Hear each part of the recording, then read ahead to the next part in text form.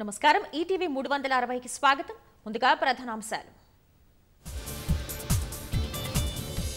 ఢిల్లీలో రక్షణ శాఖ మంత్రి రాజ్నాథ్ సింగ్ను కలిసిన కేటీఆర్ అభివృద్ధి ప్రాజెక్టుల కోసం డిఫెన్స్ భూముల్ని బదిలీ చేయాలని వినతి. భాజపాతో పొత్తు కోసమే కమలం నేతలతో భారాస సమావేశమన్న ఠాక్రే. హస్తం కమలం ఒకటేనన్న కేటీఆర్ వారిద్దరే ఏకమయ్యారన్న బండి. ప్రభుత్వ ఉద్యోగులు పెన్షనర్లకు మరో శుభవార్త. అలవెన్స్లు పెంచుతూ సర్కార్ ఉత్తర్వులు. రాష్ట్రంలో కలకలం రేపుతున్న వరుస ఆత్మహత్యలు. క్షణికావేశంలో తనువు చాలించిన ఆరుగురు.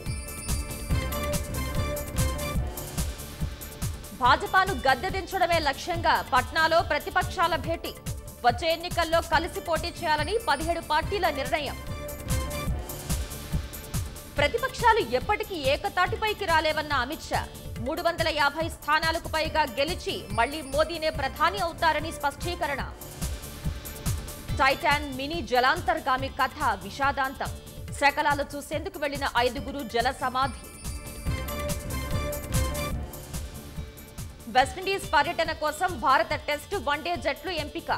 రుతురాజ్ యశస్వి జైస్వాల్కు చోటు పుజారాపై వేటు.